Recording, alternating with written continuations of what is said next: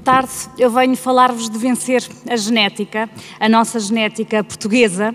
Uh, se vocês pensarem que encontram alguém na rua conhecido uh, e perguntam: Então, tudo bem? Está tudo a correr bem contigo? A pessoa invariavelmente vai responder: Ah, vai-se andando, vamos indo. Ou pior ainda, tem de ser, não é? E eu pergunto: Mas tem de ser porquê? Isto é assim um inferno tão grande estar vivo. Uh, isto é uma tendência, uma genética que é transversal a toda a sociedade. Não são só os velhinhos que se encontram e dizem, uh, competem entre si para ver quem tem a doença mais grave e mais terrível. E não é só o povo que nos diz há anos e anos que muito riso pouco siso, dando-nos a entender que quem uh, se ri muito não é bom da cabeça. Há também uma elite intelectual que nos faz acreditar que uh, isto de ser feliz é só para quem não tem dois dedos de testa. Quem pensa uh, não pode nunca ser feliz porque isto é de facto muito difícil. Eu acho que isto é completamente estúpido, é pouco inteligente. Uh, porque é que nós não havemos de ser felizes? Porque é que nós não havemos... A vida é difícil, de facto, mas porque é que não havemos de aproveitar aquilo que temos de bom? No outro dia encontrei uma pessoa na rua, estava muito deprimida porque tinha tempo a mais, estava desempregada. Uh, passado uns tempos encontrei-a de novo e ela estava muito deprimida porque tinha tempo a menos, tinha um emprego e tinha tempo a menos. Bom, mas eu não quero passar os meus cinco minutos a queixar-me das pessoas que se queixam, porque isso seria ceder à genética e não vencer a genética. E também não quero que pensem que sou iluminada uh, e, e, abençoada e venci a genética porque sou muito especial. Não, eu trabalho muito para a vencer. Quando alguém me pergunta assim, então estás boa? Às vezes tenho vontade de dizer, não, estou muito cansada, tenho três filhos, 350 empregos, o do meio está doente, o meu carro empanou, mas cala a minha boca, penso nas coisas que tenho boas e digo, Estou ótima, estou, pá, impecável.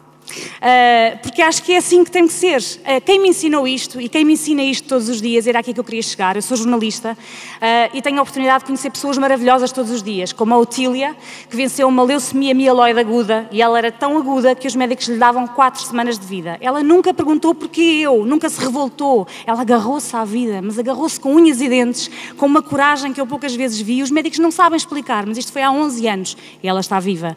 Assim como eu também não me posso esquecer, o Vítor e a Rosa, que são funcionários do balneário público de Alcântara. São pessoas que ganham um ordenadozinho de ninharia uh, uh, e que a única função que tinham era abrir o balneário uh, e, e, dar toalhas aos sem-abrigo, eles tomavam banho, só que aquilo começou-lhes a doer o coração. Eles vestiam as mesmas roupas imundas depois do banho. Então eles criaram um sistema, arranjaram máquinas de lavar roupa, arranjaram roupas e devolveram a dignidade àquelas pessoas. O e a Rosa cortam cabelos, catam piolhos, cortam unhas e há pessoas que já conseguiram arranjar empregos graças a estas duas pessoas que podiam ter ido para casa queixar-se da vida, mas não decidiram devolver a dignidade a outras pessoas. Assim como também não posso jamais esquecer da Dona Fernanda, padeira na Lapa. Ela não é dona da padaria na Lapa, ela é padeira. E o que ela faz é, se algum velhinho de repente não aparece na padaria, ela vai ver se ele por acaso morreu, como esta senhora que esteve morta oito anos em casa. Ela vai ver se morreu, ela vai com eles ao médico, ela vai com eles ao banco, ela não vai para casa chorar porque é uma padeira sem dinheiro. Assim como o Salvador Mendes de Almeida, que toda a gente conhece, e que teve um acidente na flor da idade e de repente deu a volta e é feliz e, e, e, e trabalha e faz uma série de coisas e as pessoas podem dizer, pois, mas ele tem imenso dinheiro, com o dinheiro que ele tem eu também conseguia. Mas depois há o Paulo, que nasceu numa família de classe média, média e baixa, sem braços e sem pernas, e o que é que ele faz? Ele joga a bola, rasteja para jogar a bola com uma garra impressionante ele trabalha, ele namora, ele é feliz, não ficou a queixar-se. Assim como a tia Preta. A tia Preta é uma senhora que vive em Chelas, numa casa deste tamanho, mas mesmo deste tamanho, e ela acolhe estas crianças que têm pai e mãe, mas os pais estão a fazer outras coisas, às vezes não as mais aconselháveis, e ela acolhe-os em casa, dá-lhes de comer, dá-lhes banho, educa-os, ralha com eles e eles têm um respeito enorme. Assim como não posso esquecer do Pedro Choi, que tem um império, não é? Um conhecido acupuntor, mas ele nasceu numa casa tão pobre, numa família tão pobre, que nem nem o luxo de uma casa de banho ele tinha. Ele tinha que escavar no quintal para fazer as necessidades. E ele e os irmãos hoje estão todos lindamente na vida porque não se ficaram a queixar. E são estas pessoas que me dão lições de vida todos os dias. São estas pessoas que me ensinam a ser melhor todos os dias e a não a ficar a queixar-me.